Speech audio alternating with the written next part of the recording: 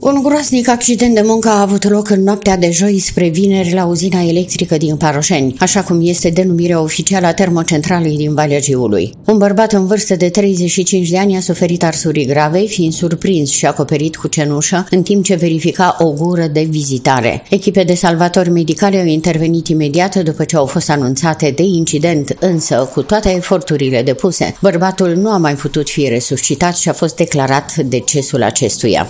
Am primit solicitare prin sistemul 112 pentru un pacient uh, inconștient la uzina electrică.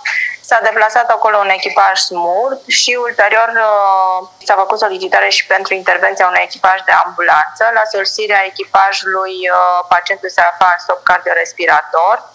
S-au făcut manevre de resuscitare aproximativ 50 de minute, cele două echipaje, dar în final pacientul a fost declarat decedat adică stop cardiorespirator irreversibil.